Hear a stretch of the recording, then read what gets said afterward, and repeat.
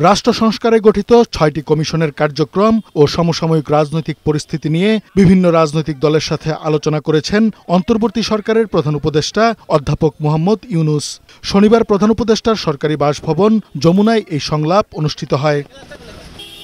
মির্জা ফখরুল ইসলাম আলমগীরের নেতৃত্বাধীন বিএনপির প্রতিনিধি দলের সাথে প্রথমে সংলাপে বসেন প্রধান উপদেষ্টা। ঘণ্টাব্যাপী আলোচনার পর বাইরে এসে বিএনপি মহাসচিব সাংবাদিকদের জানান, জাতীয় নির্বাচনের রোডম্যাপ, জুলাই আন্দোলনে গণহত্যায় জড়িতদের বিচার, সংস্কার উদ্যোগ নিয়ে প্রধান উপদেষ্টাকে তাদের মতামত জানিয়েছেন। আমরা নির্বাচন সম্পর্কিত বিষয়ে আলোচনা করেছি এবং নির্বাচনের সংস্কার বিভাগ কমিশন এবং আপনার নির্বাচন ব্যবস্থার সংস্কার সব কিছুগুলোই আমরা আপনার তুলে ধরেছি এবং আমাদের আমাদের যে মতামত সেটা আমরা দিয়ে এসেছি। প্রধান রাজনৈতিক দলসমূহ ঐক্যমতের ভিত্তিতে অনতিবিলম্বে নির্বাচন কমিশন গঠন করতে হবে এবং আমরা একটা রোড ম্যাপ দিতে বলেছি। নির্বাচন কমিশন কবে নির্বাচন হবে সেই আমরা একটা রোড ম্যাপ দিতে বলেছি। পরে প্রধান উপদেষ্টা জামায়াতে ইসলামীর প্রতিনিধি দলের সাথে আলোচনায় বসেন। বৈঠক শেষে জামায়াতের আমির সাংবাদিকদের জানান, সংস্কারের জন্য সরকারকে যৌক্তিক সময় দেবেন তারা।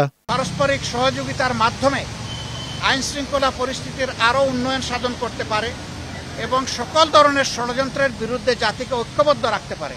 সেই বিষয়গুলো নিয়ে আমাদের এখানে কথাবার্তা হয়েছে। তারা দেশকে একটা ভালো জায়গায় নিয়ে একটা সুষ্ঠু নির্বাচন তারা দিতে সক্ষম হবেন। এবং এই ক্ষেত্রে এটাও আমরা আশা করছি যে এই সময়টা নাতি দীর্ঘ হবে। আমরা শুরু থেকে বলে আসছিলাম, সংস্কারের জন্য সরকারকে আমরা যৌক্তিক সময় দিতে চাই। সেই যৌক্তিক সময়টা কি হবে এটা নিয়ে অচিরেই আমরা কাজ করব এবং সেটাও আপনাদের সামনে ইনশাল্লাহ চলে আসবে। এদিন ইসলামী দল ও বাম জোটের নেতাদের সাথেও বৈঠক করেন প্রধান উপদেষ্টা। সংলাপে গণতন্ত্র মঞ্চের নেতারা আইনশৃঙ্খলা পরিস্থিতির উন্নয়ন ও মানুষের নিরাপত্তা দিতে অন্তর্বর্তী সরকারকে আরও সক্রিয় হবার আহ্বান জানিয়েছেন। সুষ্ঠু নির্বাচনের জন্য সংবিধান যতটুক সংস্কার প্রয়োজন, ততটুকুই করার দাবি জানিয়েছে বাম গণতান্ত্রিক জোট।